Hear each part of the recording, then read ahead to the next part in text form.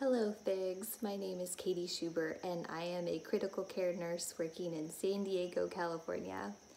I've been a nurse now for about eight years. Uh, I went into ICU as a new graduate nurse, and I absolutely love being a nurse, and I absolutely love critical care. I honestly can't picture myself being happier in any other role. Uh, in fact, as a child, I always knew that I was going to work in healthcare. I just knew it in my bones. Um, my dad is a paramedic, my stepmom was a nurse, and my childhood hero was our family physician, Dr. Price.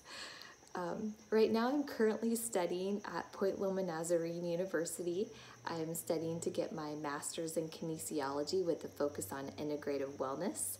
Um, at the end of this program, in addition to having my master's degree, I'll also uh, be able to sit for the National Board of Health Coaching uh, certification. And that brings me to my story.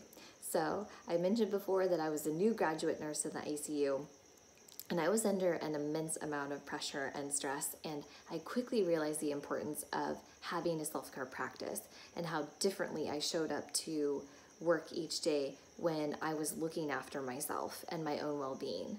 Uh, one of my favorite phrases is you cannot give from an empty cup and I think this is especially important in uh, those who are working in a service driven profession. Um, we have to look after ourselves in order to fully show up for those that we serve. So, my goal is to be a wellness advocate and healthcare coach for medical professionals, uh, nurses and physicians in particular. Uh, I have witnessed the breakdown of these incredibly bright, talented people who have dedicated their entire lives to caring for others. Uh, unfortunately, we have a system that doesn't really acknowledge the mental health needs of medical providers, and it doesn't support them in uh, walking through the, the steps that they need to take in order to um, to process really difficult and sometimes traumatic events. And even before COVID, we knew about this. There was a lot of research out there that showed epidemic levels of really serious things like uh, burnout syndrome, um, severe moral distress, and even PTSD. And I want to be a part of the solution to this problem. I hope to offer not only one on one coaching and group coaching uh, with my colleagues, but I would also like to implement a plan, build a, a self paced plan that any medical provider can walk themselves through.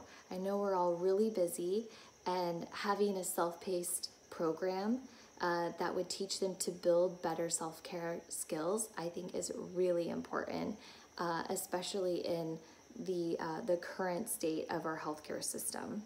So, in five years, I hope to have my program and ideas implemented across San Diego County in all acute care facilities.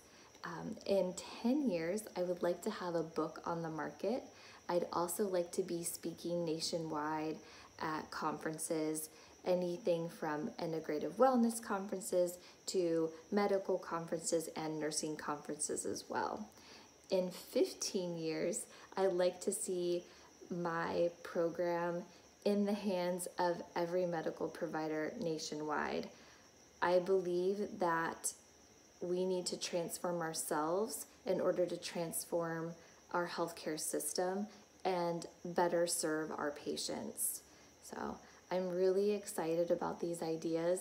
I have a fire in my belly to help healthcare providers uh, show up as the best version of themselves every single day.